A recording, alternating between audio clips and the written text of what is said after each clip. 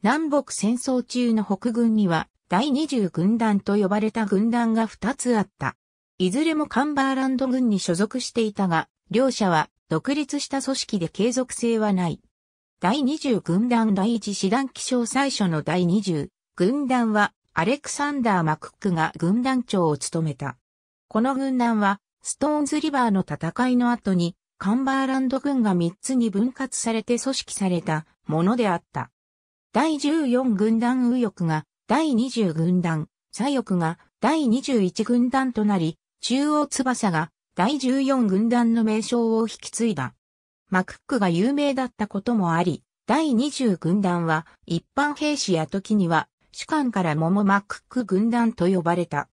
カンバーランド軍のタラホーマ方面作戦では、テネシー州、リバティギャップで南軍ブラックストンブラック大将の後衛部隊と1863年6月に小さな戦闘を行った。第21軍団が戦った唯一の大規模な戦闘は、チカマウガの戦いであったが、この2日間にわたる戦いで、第20軍団は大損害を受けた。この損害のため、第20軍団は、トマセル・クリテンデンの第21軍団と統合され、名称も第4軍団と変更された。マクックは、チカマウガでの敗北の責任を問われ、軍団長を退いた。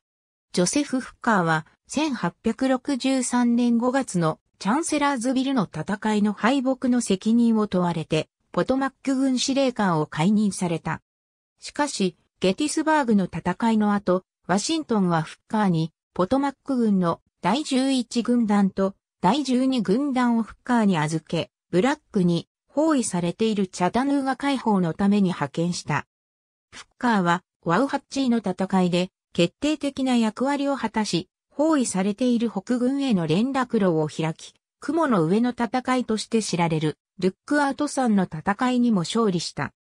1864年4月4日、アトランタ方面作戦の直前に、ウィリアム・シャーマンは、第11軍団と第12軍団を統合して、第20軍団とし、フッカーを軍団長としてカンバーランド軍の所属とすることを承諾した。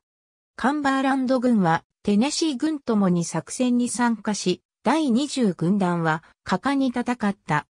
アトランタの戦いで、テネシー軍司令官、ジェームズ・マクファーソン少将が戦死し、後任にオリバー・オ・ハワード少将が任命された。これを不満としてフッカーは軍団長を辞任した。ハワードが彼より公認であること、またおそらくはチャンセラーズビルにおいてフッカーが警告していたにもかかわらず、ハワードが適切な防御体制を取らず、南軍ストーンウォール・ジャクソン中将の側面攻撃を許し北軍の敗北を招き、結果としてフッカーがポトマック軍司令官を解任されることとなったためであろう。フッカーの後任の軍団長は、共に前第12軍団長であったアルフェウス・ウィリアムズ、続いてヘンリー・ W・ スローカムが就任した。9月1日にアトランタが降伏した後、第20軍団はアトランタに最初に入場した。その後シャーマンのジョージア軍に加わり海への進軍に参加した。海への進軍ではウィリアムズが再び軍団長となり、カロライナ方面作戦まで指揮を取った。第20軍団は12月のサバンナで大きな役目を果たし、カロライナ方面作戦の全期間を通じて多くの戦闘に参加した。特にベントンビルの戦いでは南軍ジョセフ・ジョンストン大将の反撃の大部分を吸収した。ベントンビルでは、ジョンストンの南軍を殲滅することができなかったため、シャーマンはウィリアムズに代わって、より積極的なジョセフ・マウアーを軍団長に据えた。戦争終了後にワシントンの大歓閲式に参加し、1865年6月に軍団は解散した。歴代軍団長。ありがとうございます。